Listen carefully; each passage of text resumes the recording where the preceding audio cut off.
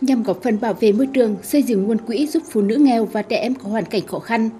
Hội Liên hiệp Phụ nữ xã Mái Hóa, huyện Tuyên Hóa đã xây dựng và nhân rộng mô hình nhóm ve chai tình thương mang lại hiệu quả thiết thực.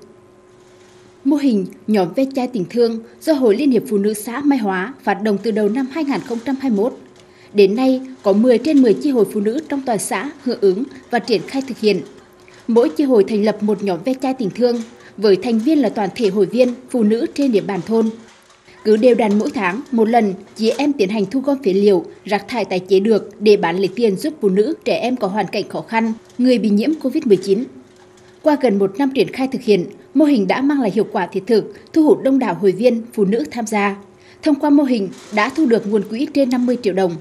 Từ nguồn kinh phí đó, các chi hội đã tặng quà cho 10 gia đình có người nhiễm COVID-19, thăm 25 thân nhân liệt sĩ trong dịp 27 tháng 7 và Tết Nguyên đán nhâm dần 2022 tặng quà động viên cho 6 tân binh nhập ngũ năm 2022, thăm hỏi tặng quà cho 79 hội viên ốm đau có hoàn cảnh khó khăn.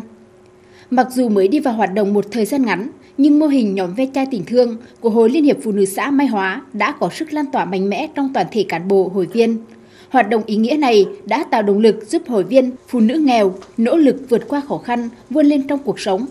Đồng thời, củng cố tình đoàn kết, gắn bó, tình nghĩa giữa hội viên, phụ nữ và người dân ở cộng đồng dân cư.